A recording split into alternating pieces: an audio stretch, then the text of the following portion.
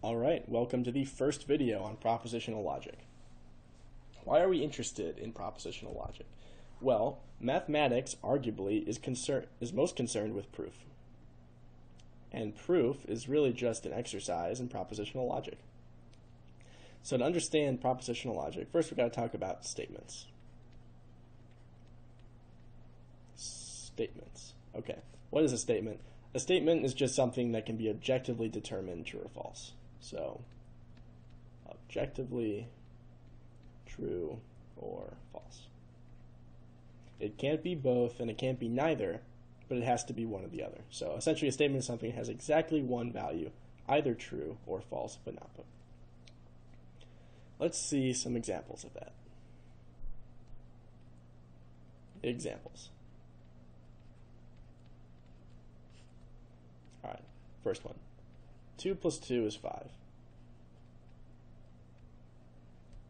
This is a statement. I can objectively say whether this is true or false, and in this case it is objectively false. Because of that, it is a statement. As long as we agree what 2 means and plus and equals and 5, we will all come to the same conclusion that this is not true. It's also worth pointing out that something, say, like 2 plus 2, is not a statement. It's not really making any assertion that you can judge whether it's true or false.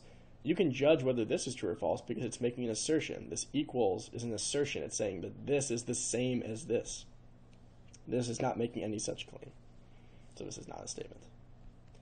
Not a statement.